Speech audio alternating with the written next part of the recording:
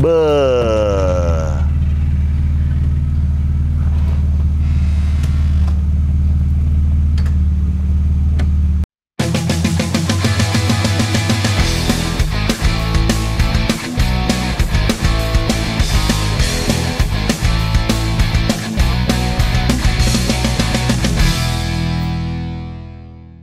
Gofar Manisokin balik lagi di Sekotomotif dan di episode kali ini gue akan mereview soal BMW E36 Cabrio ini tahun 92. Iya, jadi pre-facelift nih ya. Mungkin video sebelumnya udah lu lihat apa yang gue ubah dikit-dikit, tipis-tipis aja gantengin BMW E36 Cabrio gue. Tapi sekarang gue pengen nge-review keseluruhan. Enak gak sih pakai mobil E36 Cabrio? Terus balik lagi untuk E36 dan E46 gue selalu bilang bahwa untuk lo yang pemula BMW pilihan yang tepat lah ya 36 atau M46 karena yang pertama tuh spare partnya melimpah. Perawatannya tuh relatif mudah. Dan bensinnya tuh relatif awet ya. Apalagi untuk E46 yang generasi-generasi pertama gitu kan. Nah E36 menurut gue tuh gue agak ketulah nih. Dulu gue pernah bilang bahwa gue nggak suka yang namanya 36 karena bentuknya tuh aneh banget. Jepang banget tapi ya namanya juga lo tidak pernah tahu bahwa lu suka apa enggak sebelum lu nyobain gitu kan. Ketika lu nyobain, anjing, enak cuy. Dan gue suka ternyata sama modelnya yang kotak-kotak kotak-kotak gitu kan. Everlasting modelnya lah. 80-an, 90-an tuh dapat banget gitu kan. Nah, ini balik lagi E36 Cabrio gue, gue dapat warna dari si Cibon nih. Warnanya udah Boston Green aslinya Terus depan lampunya ini nggak beda sama yang facelift. Di sini ada washer lampnya. Gue nyoba-coba, gue nggak tahu berfungsi apa nggak nih. Udah gue coba-coba kok nggak bisa-bisa. Dan gue suka dengan warna chrome-nya. Ini beda sama kayak yang punya gue, yang E36 Wagon itu full dop. Tega. Di sini gue sengaja nggak pakai delete plat, jadi yang pakai yang di E36 Wagon itu gue ada dua nih delete plat sama yang ada plat nomornya. Jadi kalau misalnya lagi nongkrong gue pakai yang delete plat, tapi kalau misalnya lagi jalan gue pakai yang ada plat nomor. Karena kan ya biar mematuhi peraturan lalu lintas. Tapi sengaja ini gue jumawakan plat nomornya karena plat nomornya sudah jumawa B325 gue udah balik nama atas nama PT gue jadi ya asik lah. nih gue suka dalamannya tuh ya. Headlampnya dalamnya putih terus langsung jumawa dua mata gini. But ini ada halogen dan lampu proyektornya juga ada proyektor lensnya nih. Tuh di sini gue pak tetap pakai warna yang kuning nggak warna yang putih. Bisa dibilang kalau pakai yang warna putih itu elegan banget tapi kuning tuh lebih 90s lebih old school ya lebih vintage ya. Jadi gue suka mempertahankan si apa namanya lampu sen ini. Tuh, udah ada lipsnya bawaan dan ini erdaknya nih. Ini kayaknya bukan bawaan bempernya deh soalnya. Eh udah deh, udah diganti ya masih Riko. Oh belum, erdaknya belum. Ini masih bawaan Cibon nih. Kayak erdaknya bukan buat dia deh. Terus grillnya itu yang elegan, udah dapat dari sononya dan secara apa namanya kualitas catnya masih bagus banget kepikiran tuh ganti warna cuma bingung warna apa yang pasti warna hijau juga sih. Jadi Boston Green tuh udah identik sama si E36 banget ya. Estoril Blue, E36 yang ini Boston Green. Hmm, masih bingung gua. Waktu di wet gloss aja kali ya. Nah nggak tahu pokoknya ya. Oke berikutnya ini uh, samping Sunfender tuh tipe yang pre-facelift Jujur gue lebih suka yang facelift sih dibandingkan yang ini ya. Cuma kan emang nih ya tahunnya aja sesuaikan. Nah, ban dan velg pakai Haman PG1. Ini OZ enaknya punya tipe eh punya velg OZ tuh lo bisa ganti-ganti face karena lubang rivetnya tuh sama ya dan sekut banget sih kayak si Iqbal tuh Iqbal yang punya 36 merah buntung dia tuh velgnya satu cuma face-nya banyak jadi gue udah ganti terus ini face nih ya kalau yang nggak tahu ya ini face ini lips jadi rivetnya dibuka dicabut face-nya ditaruhin lagi nah gue tuh punya face yang OZ nih ada Haman ada Strosek ada Impul yang lubang rivetnya di custom OZ jadi ada tiga face dengan satu lips. Asoy, enggak. Terus pakai AP Racing ini BBK-nya gue nggak tahu berapa pot. Tapi yang pasti sih eh, dengan adanya Haman PG1 ini lumayan jumawa ya. Kelihatan si RM-nya ini BBK-nya sekut lah. Kepikiran gue untuk nuker aja semuanya. Tadinya ya, gue tuker semua ban-ban ini BBK-nya taruh di wagon. Yaudah, ini modelnya klasikan aja udah pakai BBS RS yang 18. Tapi lihat bentar deh. Kalau bosen. Karena namanya juga bosenan. Asoy. Kaca film ini namanya juga Eropa udah ada thin glass di sini ya. Dan kalau lu lihat mungkin nggak tahu nih bisa kelihatan apa enggak. Ini ada gradasi di atas sama di bawah. Atas warna ke hitam-hitaman, ke hijau-hijauan gelap langsung ke bening. Aslinya udah thin seperti ini. Jadi kalau misalnya mau jumawa dalamnya interior kelihatan sih gue nggak mau pakai kaca film nggak tahu sih ya. Tapi ini kan mobil nggak buat harian banget. Seperti dibiarkan gini aja sih. Atau masang kaca film yang emang bening, bening banget gitu. Udah. Nah, itu dia. Oke, kita menuju ke samping sama aja lah kayak 36 biasa ya. Ada parking sensor di belakang nih. Satu, dua, tiga, empat parking sensor. Ada diffusernya bawaan. Dan ini nih, lampu belakang E36 memang bangsat. Wagon, Cabrio, coupe, sedan biasa, buntung. Lampu belakangnya beda semua kan bangsat ya. Jadinya kalau misal gue tuh beli garnish cuy, beli garnish. Gue kira tuh masuk di wagon. Ternyata beda lampunya. Oh, ada Cabrio. Gue masukin lah garnishnya. Garnish belakang. Eh, beda juga. Ternyata lampu belakang tuh beda semua. Ini ada antena di sini yang menurut gue kayak remote control dan keren banget sih menurut gue ya. Jadi gue suka tuh dengan mobil kecil dengan antena-antena yang menjulang-menjulang seperti ini tuh gue suka banget. Ya? Dan ini, bentar. Model kuncinya masih standar lah ya. Dan ini udah amsyong banget tuh. Pencetannya udah udah jebol. Jadi sementara pakai manual. Nah. Bagasinya ya Cabrio ya. Kecil aja udah. Dan sekutnya lagi tuh Cabrio itu nggak masuk di bagasi sini.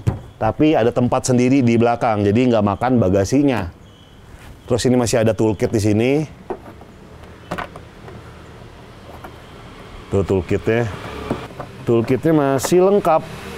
Wih. Enggak. Jadi kalau misalnya lagi di jalan, kenapa-napa, gue bisa benerin mobil gue sendiri. Maaf. Ya enggak? Si bisa. si jago. Ini keluar Malaysia nih. Tuh. Stikernya. Ini harusnya ada tutupnya sih ya. Cuma ini nggak ada nih. Oh ini ada ada aki. Aki di sini.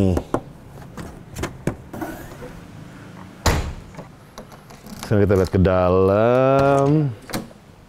Nah, sebenarnya agak sedikit disayangkan ini udah di retrim.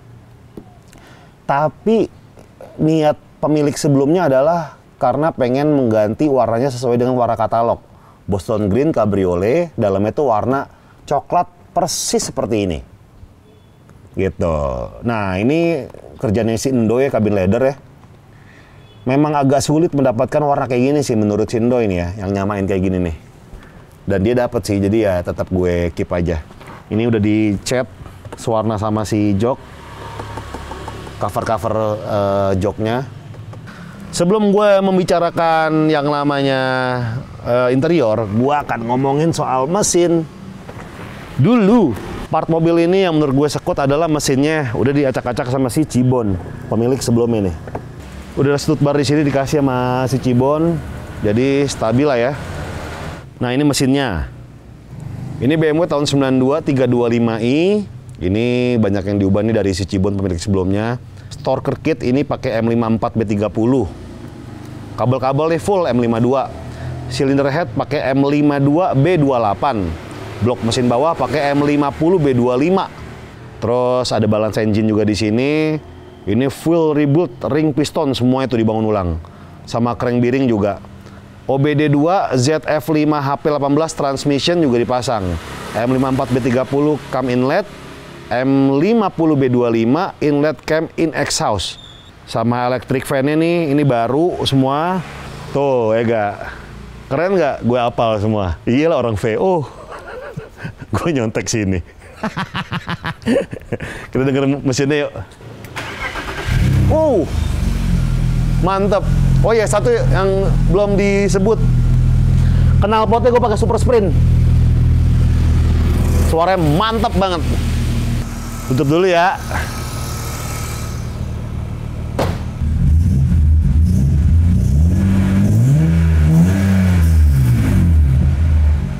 Sekut. Kita coba buka lagi deh. Gue ngulang cara bukanya. Pertama gini tuasnya, terus diputer, dorong ke atas, set. Udah nganga gini, pencet ke bagian ini nih. Pencet, tekan, dan nggak boleh lepas. Kacanya langsung kebuka semua. Beuh.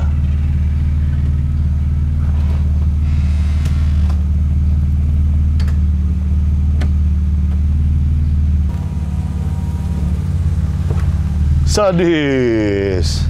Nah, di sini nih ada tombol untuk ngebuka kaca semua nih. Jadi ada 1 2 3 4 5 6 6 tombol. Tombol sini buat ngebuka semua kaca. Nah. Oke. Interiornya ini gue ganti setirnya pakai M3 Euro yang ada tombol-tombol ini, tombolnya berfungsi. Kecuali cruise controlnya nggak berfungsi, ya. Dan ini pakai ini sebenarnya kebalik sih nih sama wagon gue. Ini pakai yang facelift nih karena ini pakai BMW bisa CD. CD 43 nih. Kebalik, sebelumnya kan kalau tahun ini harusnya pakai kaset nih yang awalnya kemarin yang di Rico. Gue tuker, nggak tahu sih mau gue tuker lagi kayaknya. BM habis anjing. Ini OBC-nya tuh udah agak-agak nggak ke- kebaca ya. Karena di situ ada kayak temperatur, kons- b- apa namanya konsumsi bensin, terus ada limit, ada range, ada cek, ada clock, date, segala macam segala macam ada di sini sebenarnya nih. Nah harusnya di sini tuh ada eh, apa namanya kayak yang di E36 wagon gue tuh untuk temperatur, suhu dan segala macam. Tapi tetap gini aja lah. Ini dikasih sama Rico nih kabel aux tapi masih jelek kan kabelnya nih pakai yang biasa buat dengerin Spotify atau apalah. Nah ya standar lah. Ini sen, ini wiper, dashboardnya seperti ini. Jarum, jarum, jarum, jarum, jarum masih. Ada cek kontrol nih, gua harus ngecek nih kayaknya ke Avon lagi. Nah, ini ada tombol leveling lampu depan, ini tombol buat lampu di dashboard, speedonya. Tapi udah nggak berfungsi nih. Ini fog lamp, ini lampu di sini. Dan khas BMW, AC-nya bentuk aneh. Aneh banget sih. Dan posisi duduknya sebenarnya BMW ini aneh tau, E36 ini. Karena lu kaki lu agak nyerong gini tuh. Duduk lurus tapi kakinya nyerong. Emang agak aneh sih tempat duduk ini. Di sini handrestnya juga udah dilapis kulit, diganti, di retrim ya. Wah, ini ada S3 atau asbak. Harusnya sih ya, gue mau ganti ini yang telepon gak lo? Boh, sekut diganti yang telepon BMW. Atau yang di sini nih ada nih, eh sini apa sini ya? BMW 36 ada tuh. Gue lagi nyari ya. Nah, ini pre-facelift kayak gini nih kenopnya nih. Kalau yang punya gue yang 36 wagon kan agak kayak bonggol gitu ya. Ini ada mode berkendara, sport, ekonomi, sama ini yang salju. Terus ini ada lighter juga. Ini nih nggak dipasang. Ah, ini hazard, nyala semua. Ini buat power window. Dan ini handbrake di sini. Dan ini sewarna sama trim-trim yang lain harusnya sih kalau yang di E36 gue kayu ini ya lac- lacinya kecil aja sih gue dikasih banyak sama Cibon Tuh. Masih ada bukunya cuy. Lengkap cuy. Ya enggak? Ini buat pengaturan AC. Ini tuh apa ya? Buat kunci kali ya? Ini kunci apa ya? Penasaran gue.